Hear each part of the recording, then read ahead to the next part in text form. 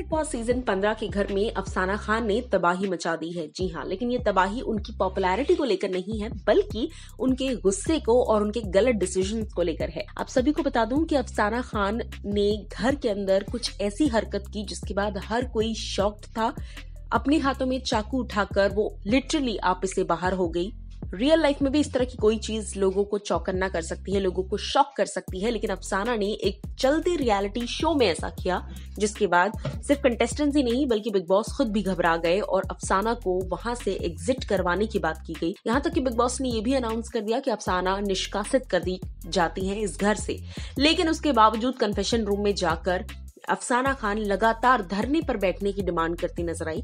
वो वहाँ से एग्जिट करने से मना करती नज़र आई। सिर्फ़ इतना ही नहीं, बल्कि अफसाना ने बार बार ये बात कही कि जब तक शमिता शेट्टी और राजीव को मैं शो से नहीं निकाल देती, मैं यहाँ से बाहर नहीं जाऊँगी। मैं आपको बता दूँ कि ये सब तब हुआ जब टास्क के दौरान अफसाना को स्पेसिफिकली टारगेट करके शमिता शेट्टी और बाकी सभी लोगों ने निकाला, क्योंकि कहीं ना कहीं टास्क थोड़ा सा बायस हो रहा था, लेकिन अफसाना इस बात को हजम नहीं कर पाई कि वो फाइनली टास्क से आउट हो चुकी हैं और बिग बॉस के कन्फेशन रूम में अफसाना ने धरने पर बैठने की डिमांड कर दी। उन्होंने जो क्रू मेंबर्स आए हुए थे, उनके साथ भी बदतमीजी की और जाने से इनकार किया कि चाहे कुछ भी हो जाए, जब तक ये दोनों शो से नहीं निकलेंगे, मैं भी नहीं निकलूँगी। इनको अपने साथ में लेकर निकलूँगी। वेल अफसाना की इस हरकत पर बिग बॉस तो हैरान है ही कंटेस्टेंट्स भी हैरान है, जनता भी हैरान है। आपको क्या है कहना? बताइएगा ज़रूर हमें कॉमेंट सेक्शन में।